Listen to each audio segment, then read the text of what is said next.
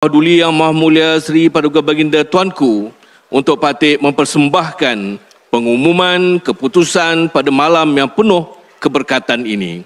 Ampun Tuanku. Alhamdulillah, Barisan Jemaah Hakim telah melaksanakan penghakiman selama tujuh hari berturut-turut kepada 92 orang peserta dari 71 buah negara, iaitu 39 orang qari dan 14 orang qariah bagi kategori tilawah. Manakala bagi kategori hafazan 30 juzuk al-Quran pula seramai 26 orang hafiz dan 13 orang hafizah. Secara keseluruhannya pencapaian para peserta bagi kategori kedua-duanya amat membanggakan. Ia turut diserikan dengan penyertaan sulung dari negara-negara baharu seperti Montenegro, Italy, Ireland, Portugal, dan Burkina Faso.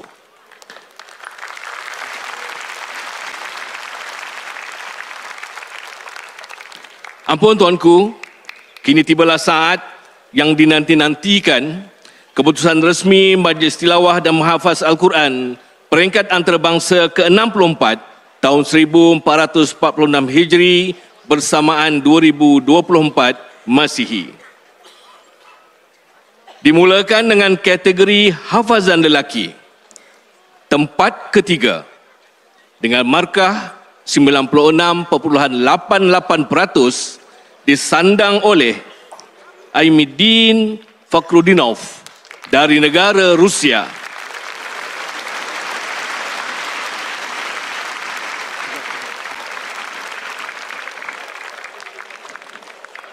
Tempat kedua dengan markah 97% disandang oleh So Ibrahim dari negara Ivory Coast.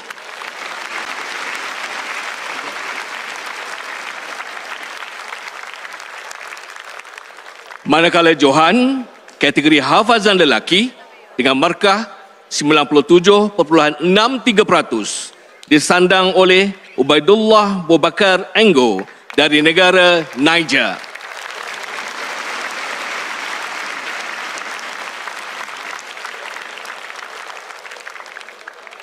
Selanjutnya kategori hafazan wanita tempat ketiga dengan markah 94.38% disandang oleh Fatimah Sahya Zahir dari negara Maldives.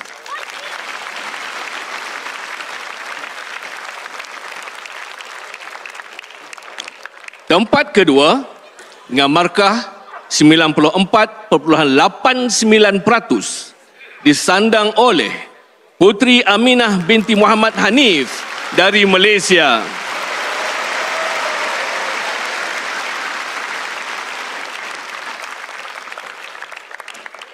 Manakala Johan kategori hafazan wanita dengan markah 96.13% disandang oleh Habsatu Hamisu Bobakar dari negara Niger.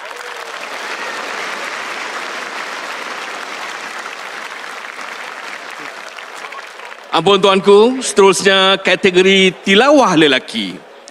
Tempat ketiga dengan markah 92.09% disandang oleh Wahyu Andi Saputra dari Republik Indonesia.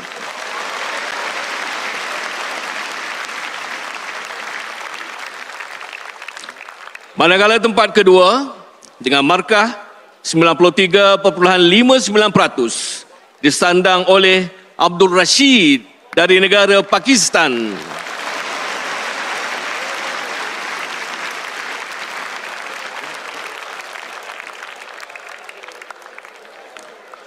Selanjutnya Johan, kategori tilawah lelaki dengan markah 95.71% disandang oleh Muhammad Husaini bin Mahmur dari Malaysia.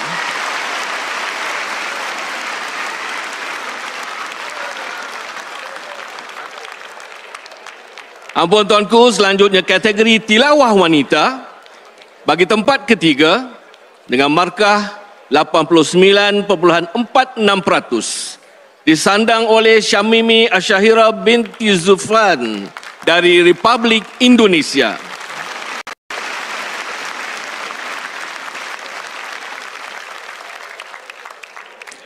Manakala tempat kedua dengan markah 90.26% disandang oleh Raihana Ambagala dari negara Filipina.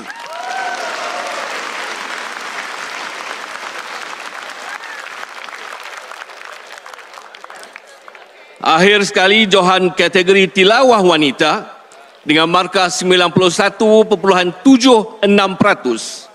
disandang oleh Nur Hidayah binti Abdul Rahman dari Malaysia.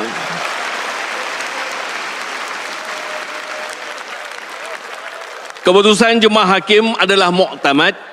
Ampun tuanku, demikianlah saja sembah maklum patik. Menjunjung kasih tuanku. Wa'il wallahu waliyu taufiq wassalamualaikum warahmatullahi wabarakatuh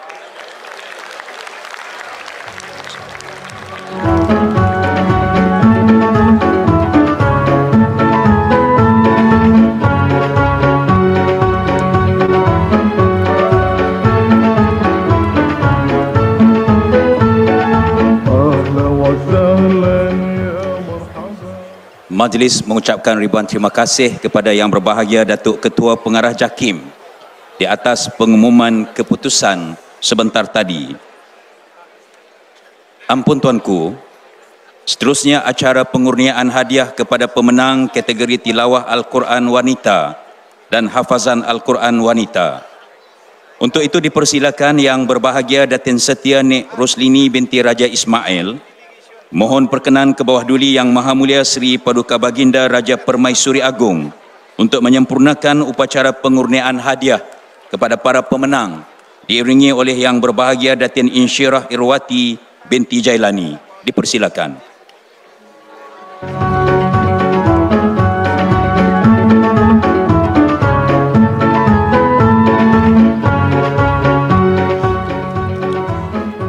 Kategori tilawah Al-Quran wanita Tempat ketiga dipersilakan Syamimi Asyahira binti Zulfan, Republik Indonesia.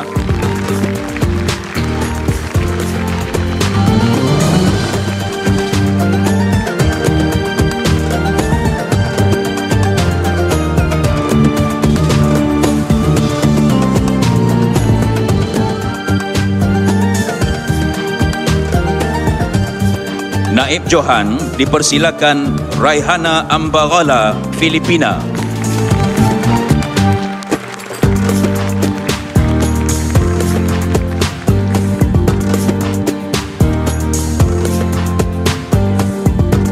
Johan Puan Nur Hidayah binti Abdul Rahman, Malaysia.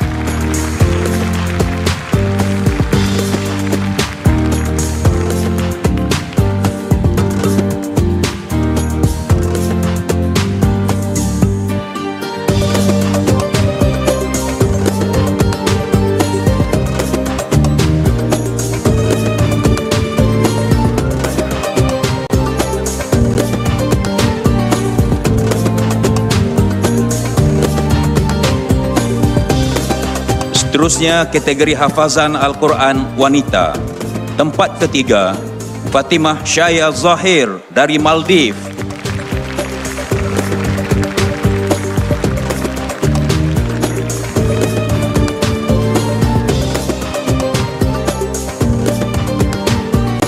Naib Johan Putri Aminah binti Muhammad Hanif Malaysia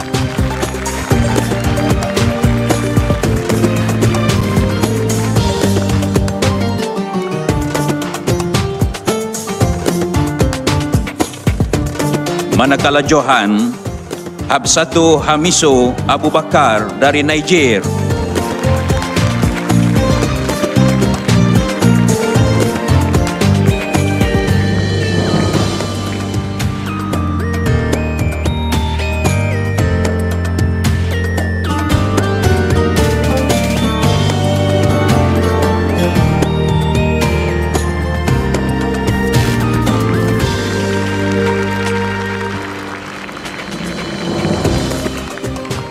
Dengan itu sempurnalah sudah acara pengurniaan hadiah kategori tilawah Al-Quran Wanita dan hafazan Al-Quran Wanita.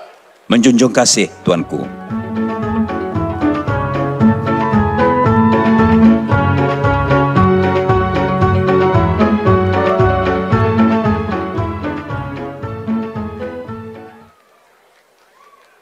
Ampun tuanku, seterusnya acara pengurniaan hadiah kepada kategori tilawah Al-Quran lelaki dan hafazan Al-Quran lelaki.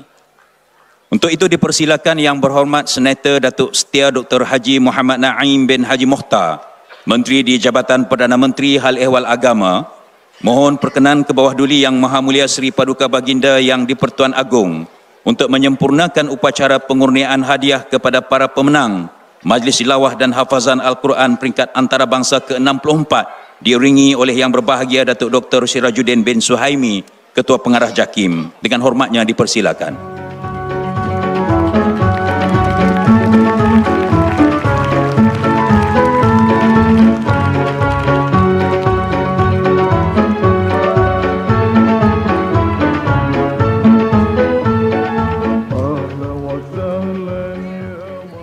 kategori tilawah Al-Quran lelaki tempat ketiga dipersilakan Wahyu Andi Saputra dari Republik Indonesia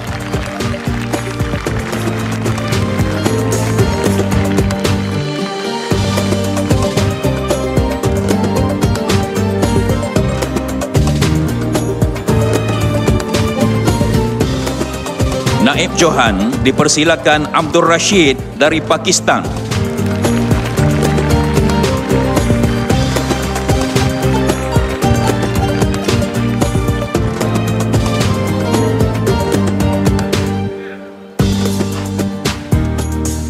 Johan Muhammad Husaini bin Mahmur dari Malaysia.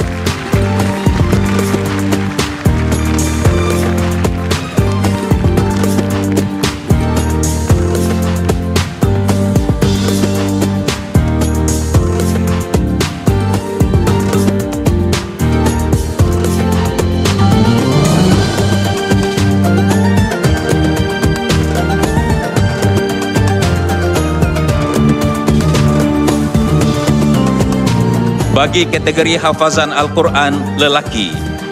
Tempat ketiga dipersilakan Aimiddin Fakhruddin dari Rusia.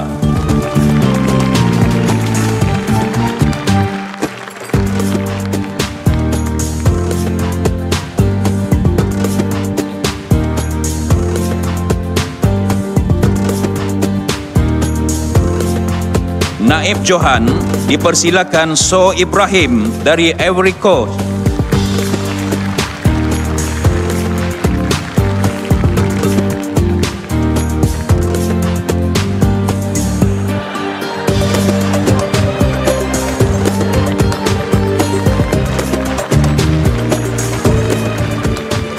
Johan.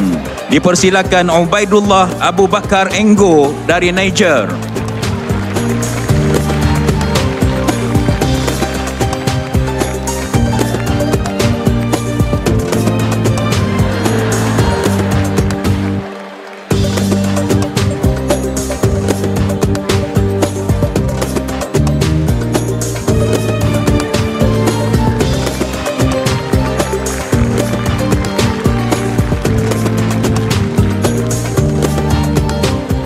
Dengan itu sempurnalah sudah acara pengurniaan hadiah kategori tilawah Al-Quran lelaki dan hafazan Al-Quran lelaki.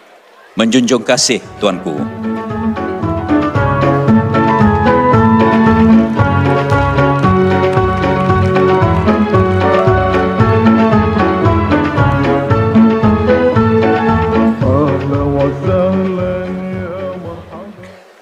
Seterusnya, marilah sama-sama kita hayati bacaan ayat-ayat suci Al-Quranul Karim yang akan disampaikan oleh peserta terbaik kategori tilawah, majlis tilawah dan hafazan Al-Quran peringkat antarabangsa ke-64. Untuk itu, majlis mempersilakan Encik Muhammad Husaini bin Mahmur dari Malaysia untuk memperdengarkan bacaan ayat-ayat suci Al-Quranul Karim dari surah Fatir bermula ayat 5. Dengan hormatnya dipersilakan.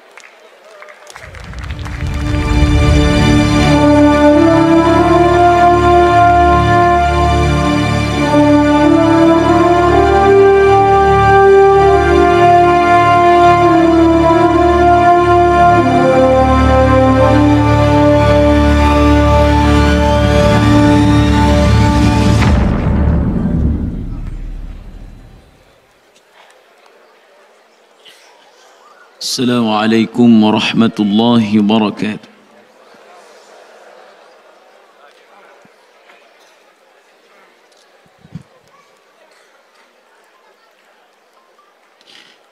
أعوذ بالله من الشيطان الرجيم.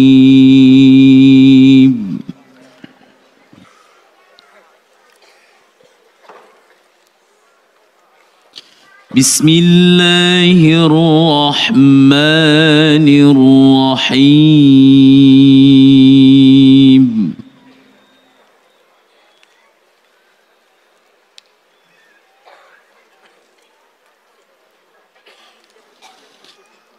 يا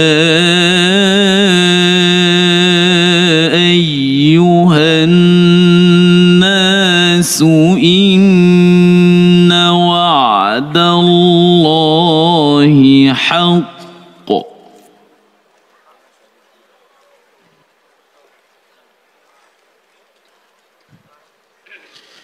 فلا تغرنكم الحياة الدنيا.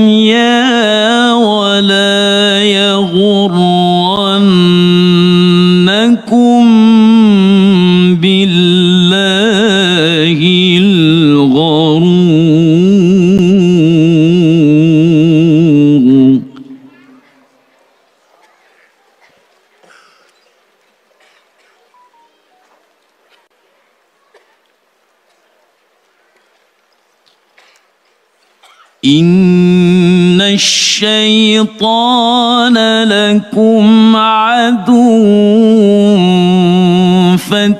فاتخذوه عدوا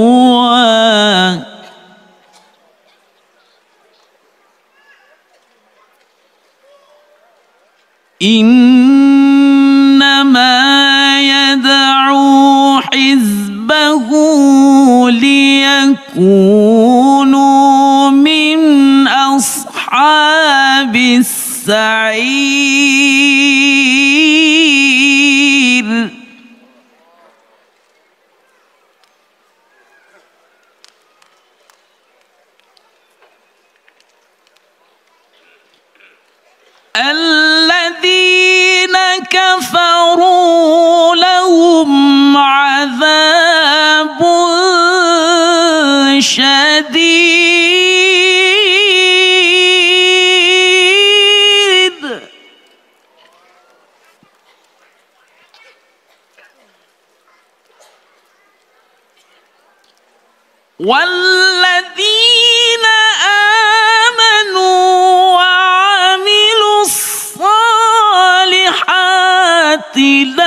لهم مغفرة وأجر كبير.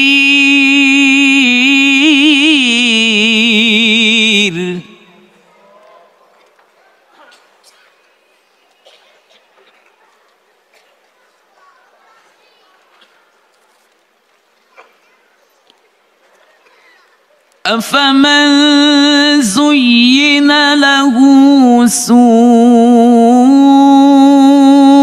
عمله فرآه حسنا.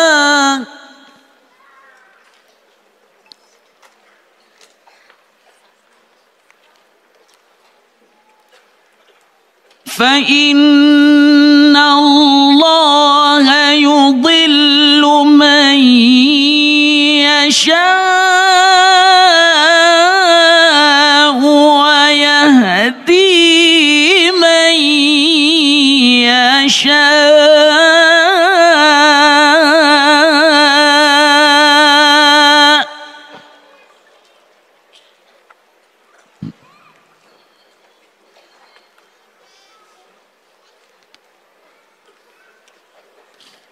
فلا تذهب نفسك عليهم حسرات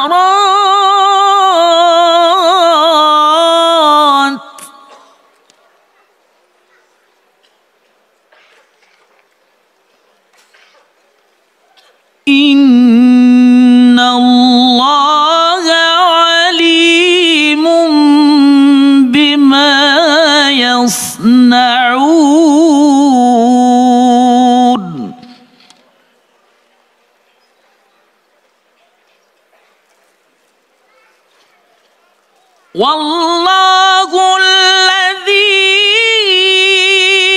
أرسل الرياح فتثير سحابا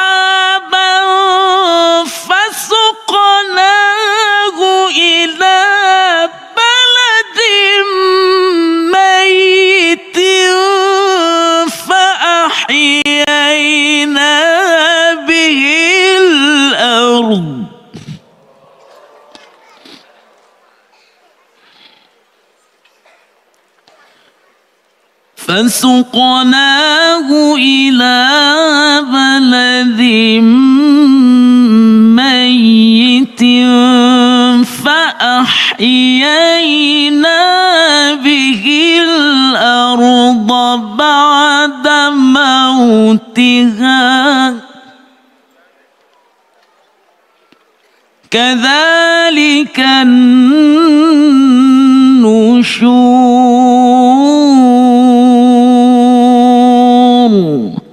صدق الله العظيم.